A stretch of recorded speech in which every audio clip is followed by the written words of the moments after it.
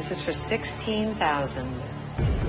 Which of these square numbers also happens to be the sum of two smaller square numbers? 16, 25, 36, 49.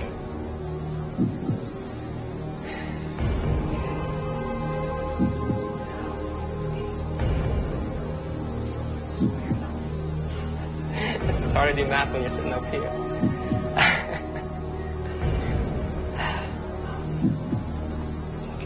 Ryan, take your time, okay? I'm You have a lot of time. I'm trying to think here.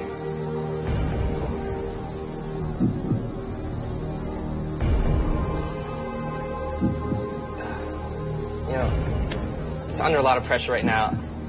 Um, I'm going to ask the audience. No problem. Audience, Ryan really needs your help here. If you're ready, vote now.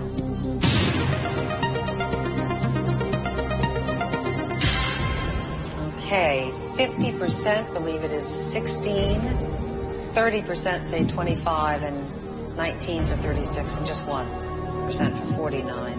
Let's check with the AOL Instant Messenger crowd. 45% of them say 16, 23 for 36, 22 for 25, just 10% for 49. So they both agree, but the number isn't great.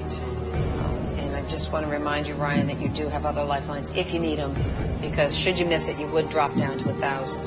I don't know where your head was at before you asked the audience. Uh, were you leaning toward anything, Uh, can you figure it out based on what you're seeing here? I'm gonna.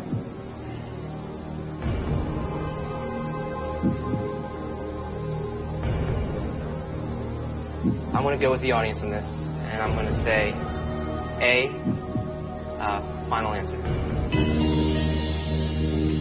Oh, Ryan, the audience is not right. I'm sorry. It was B.